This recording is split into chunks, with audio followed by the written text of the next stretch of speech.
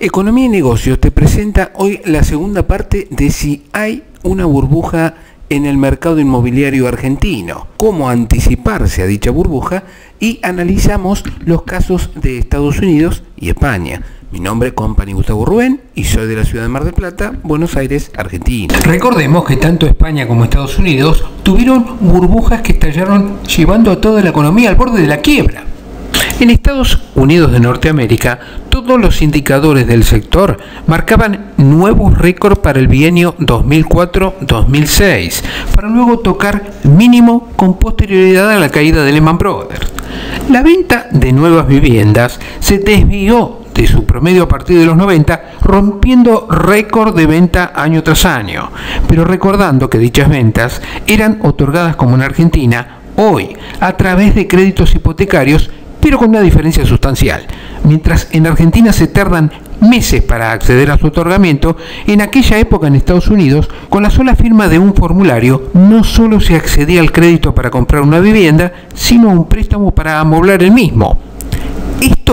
Motivó la crisis financiera del 2008 que se desató de manera directa debido al colapso de la burbuja inmobiliaria en Estados Unidos en el año 2006 que provocó en octubre del 2007 la llamada crisis de las hipotecas subprime que derivó en una deuda impagable de los bancos a los tenedores de dichos créditos al conocerse las entidades financieras otorgantes armaban paquetes de bonos con dichos créditos, los que fueron comprados por muchos ahorristas en el mundo, que al percibir que algo no andaba bien y al vender en manada dichos bonos, provocó una inestabilidad del sistema, generando iliquidez para cumplir con sus tenedores.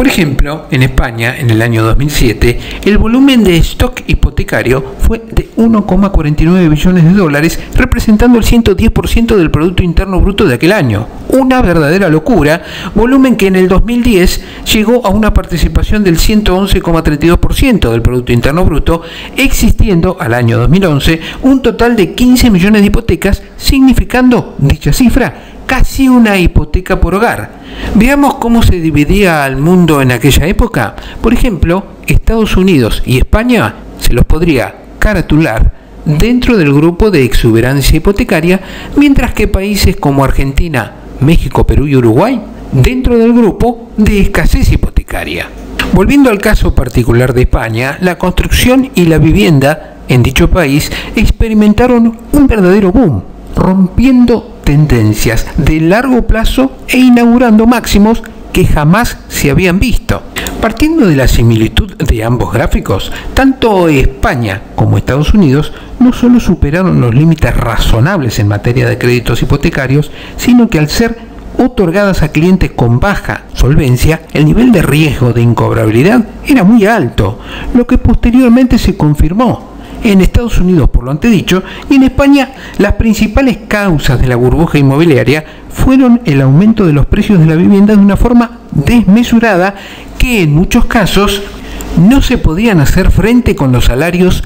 de los tomadores de dichos créditos. Además, las constructoras comenzaron a edificar en toda clase de suelos, sin reparos, en parte comenzó por el creciente número de personas que buscaban dichos pisos. Esta burbuja inmobiliaria terminó estallando, sumiendo a España en una profunda crisis económica y una caída de la demanda de viviendas, provocando la mayor caída de precios de toda la democracia española y un estancamiento considerable que estuvo a punto de recurrir a la ayuda europea. La burbuja supuso un aumento de los precios de la vivienda que superaron en seis veces a los aumentos de salario, por lo que su estallido ha provocado numerosos desahucios, ocupaciones de viviendas ilegales y falta de pago por muchos inquilinos. La quiebra de numerosos bancos y entidades financieras, provocando su posterior nacionalización e inversión de fondos por parte del Estado. Un aumento considerable del paro que se ha situado en ocasiones en más del 23% de la población y provocando un paro juvenil de casi el 55% una crisis inmobiliaria atroz y el surgimiento de una nueva ley hipotecaria,